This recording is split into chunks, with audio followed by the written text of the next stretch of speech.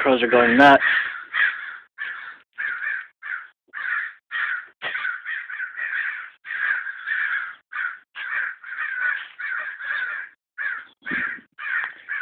And this is why.